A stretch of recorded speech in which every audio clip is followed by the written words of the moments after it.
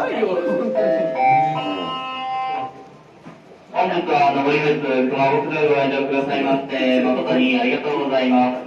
お客様にイベントのご案内を申し上げます。まもなく11時30分より第2ブにて熊の出直しを行います。身近なものを熊に与えた時の反応や普段見ることのできない熊の動きを交えて人間の話を行います。どうぞご覧ください。